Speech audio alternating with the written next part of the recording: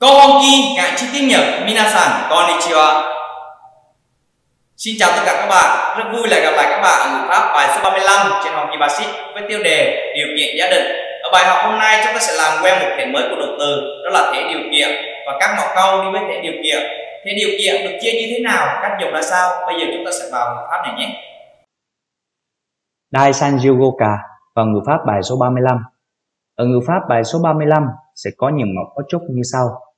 Mẫu cấu trúc thứ nhất, Jokenke, thể điều kiện. Chúng ta sẽ làm quen với thể điều kiện.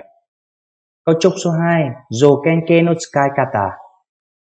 Học cách sử dụng thể điều kiện. Và cấu trúc thứ ba, nghi vấn từ bà y để ta tôi nên hay là phải làm điều gì thì tốt.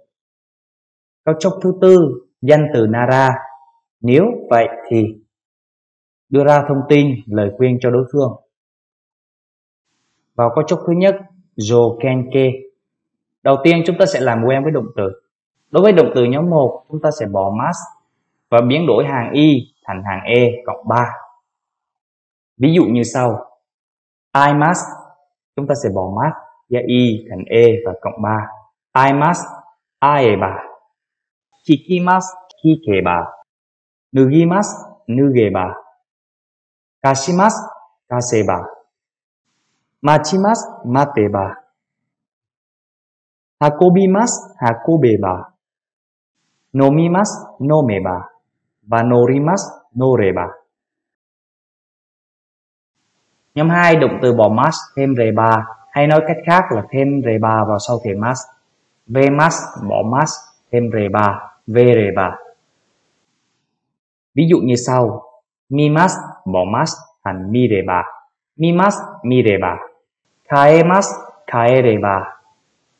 Abimas abireba. Tất cả những động từ này chúng ta bỏ mas và thêm reba. Đối với nhóm 3, động từ nhóm 3 có hai động từ phải nhớ. Thứ nhất đó là simas, thứ hai là kimas. Simas chúng ta sẽ biến đổi thành sư reba và kimas sẽ biến đổi thành khư reba. Ví dụ như sau. simas sư reba. Sampo simas sampo sư reba. bà motekimas, motekureba. Thì chúng ta sẽ biến đổi toàn bộ động từ shimas và kimas thành sureba hoặc là kureba luôn. Đối với tính từ, tính từ chúng ta sẽ làm quen với tính từ đuôi y. Tính từ đuôi y chúng ta sẽ bỏ y thêm kê đề bà. ai bỏ y cộng kê đề bà. Ví dụ, hayai bỏ y chuyển thành aya cộng với kê Osoi. Warui. Chú ý đối với tính từ y, chúng ta sẽ chuyển đổi thành yo kereba. Tiếp theo là tính từ đuôi na. Tính từ đuôi na chúng ta sẽ bỏ na thêm nara. Na chúng ta sẽ bỏ na đi cộng với nara. Ví dụ như sau. kantana na bỏ na cộng với nara sẽ là kantang nara. kantana na kantang nara. Thaihen na thaihen nara. Kirai na kirai nara. Tiếp theo đó là danh từ. Danh từ thì chúng ta chỉ cần thêm nara vào sau danh từ.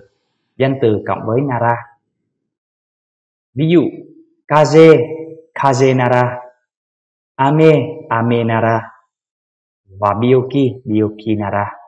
Chúng ta chỉ cần thêm nara vào sau danh từ thôi. Vào cấu trúc số 2, Jokenke no tsukai kata, cách sử dụng thể điều kiện.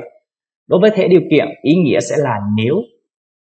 Cách dùng thể điều kiện được sử dụng để bày tỏ một điều kiện giả định. Nếu có một điều kiện A hình thành, thì B cũng sẽ được hình thành hoặc diễn đạt ý nghĩa cần một điều kiện ở vế đầu để dẫn đến kết quả của một hành động trạng thái ở vế sau.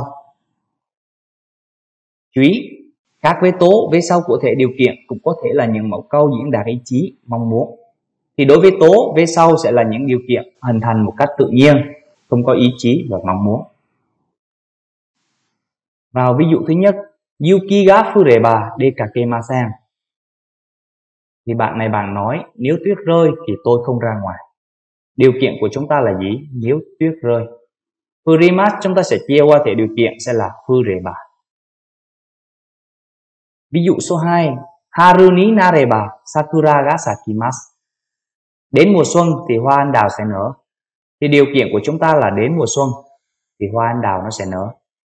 Haruni, Narimas, chúng ta sẽ chia qua thể điều kiện sẽ là Nareba. Hoa anh đào nở sẽ là Sakura ga sakimas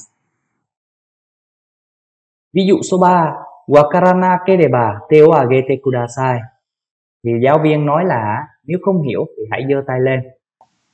Wakaranai được xem như là một tính từ đuôi y chúng ta sẽ bỏ y cộng với kê đề bà, Wakarana bà vào ví dụ thứ tư, Tadashi đề maru o tsukete kudasai Tadashi là tính từ đuôi y, chúng ta cũng bỏ y cộng với kê đề bà, Tadashi bà vào ví dụ số 5 Himanara Toleningu shimasu thì bạn này bạn nói là nếu mà rảnh rỗi thì tôi sẽ luyện tập. Điều kiện của chúng ta là rảnh rỗi. Hima là tính từ đuôi na, chúng ta sẽ bỏ na cộng với nara, Himanara nếu rảnh rỗi. Toleningu Oshimasu thì tôi sẽ luyện tập. Vào ví dụ số 6, I Tenkinara Kokokara Fujisan ga miemasu.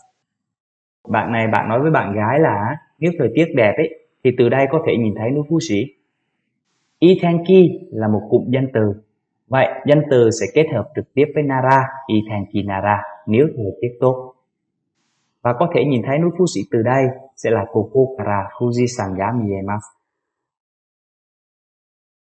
Vào câu chốt số 3, nghi vấn từ bà y đẹp ka. Ý nghĩa tôi nên phải làm gì thì tốt. Cách dùng Mẫu câu này được dùng để yêu cầu người nghe cho chỉ thị hoặc lời khuyên về cách làm một việc gì đó. Thường đi với là in desga có chức năng mở đầu câu chuyện mà người nói muốn trình bày. Thì câu trúc này mang ý nghĩa tương tự mẫu câu Thara Yudeska mà chúng ta đã học ở bài số 26. Ở bài số 26 thì Tara bây giờ chúng ta sẽ đưa qua thể điều kiện là Reba Yudeska thôi. Vào ví dụ thứ nhất, Kanji ga wakaranai toki dare ni kikebai desu ka? Thì bạn này bạn hỏi bạn này ấy, khi không hiểu chữ Hán thì tôi nên hỏi ai thì tốt. Thì bạn này bạn nói là nên hỏi giáo viên này. Sensei ni kikebai desu yo. Bạn nên hỏi giáo viên thì tốt đấy. và ví dụ số 2, Yarikata ga wakaranai desu ga dosirebai desu ka? Vì tôi không biết cách làm, tôi nên làm thế nào thì tốt ạ?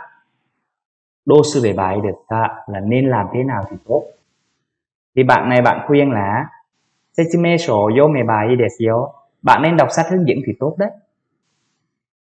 hay ví dụ số 3 sai phừa ô tô stein desu à? đô sư để bài desu à? tôi bị rơi ví rồi tôi nên làm thế nào bạn này bạn nói với bạn gái là, tôi bị rơi ví rồi tôi nên làm thế nào đây thì chị này, chị biểu là hãy đến đồn cảnh sát Kobani Ikebai desu yo. Bạn nên đi đến trạm cảnh sát thì tốt đấy. Đến trạm cảnh sát và khai báo thông tin. Làm như thế nào thì tốt sẽ là đô do bài desu ka. À? Và đi đến trạm cảnh sát thì tốt. Kobani Ikebai desu yo. Vào câu trúc thứ tư, danh từ Nara. Ý nghĩa, nếu vậy thì đưa ra thông tin, lời khuyên cho ai đó. Cách dùng Mẫu câu này dùng để cung cấp thông tin hay lời khuyên đối với chủ đề mà đối phương đã đưa ra trước đó. Thì đối phương đã nói xong và chúng ta sẽ đưa ra lời khuyên cho họ thôi. Vào ví dụ thứ nhất, Ryoko ni ikitai desu itsu ikeba ii desu ka? Tôi muốn đi du lịch, không biết đi lúc nào thì tốt nhỉ? Đây, bạn này hỏi bạn này. Và bạn này nói là đi vào khi nào đấy, vào mùa xuân. Ryokonara nara haru ii desu yo nếu mà du lịch thì bạn đi vào mùa xuân thì tốt đấy đi du lịch mà danh từ người ta muốn nói đến vậy khi bạn này sẽ nhắc lại danh từ Ryoko là du lịch nếu mà du lịch sẽ là Ryokonara thì bạn hãy đi vào mùa xuân thì tốt Haruga Ideshio và ví dụ số 2 Shiumatsu sushi o tabeni kitai desu ga. Cuối tuần này tôi muốn đi ăn sushi. Là muốn đi ăn sushi, nhưng mà ngập ngừng, không biết làm như thế nào, không biết ăn ở đâu. Thì bạn này sẽ chỉ một địa điểm, đó là sushi nara Ekimae no mise ga iyo Yasushi Oishishi Nếu là sushi, thì cửa hàng trước nhà ga thì được đấy. Không những rẻ mà còn ngon nữa. Dựa vào thông tin, vấn đề chính bạn này muốn hỏi đó là sushi. Thì bạn này lặp lại sushi và nói là nếu là sushi, sẽ là sushi nara Vậy là chúng ta đã học xong ngữ pháp bài số 35 rồi. Cảm ơn các bạn đã xem video. Hẹn gặp lại các bạn ở các bài học tiếp theo. Minasan arigato gozaimashita.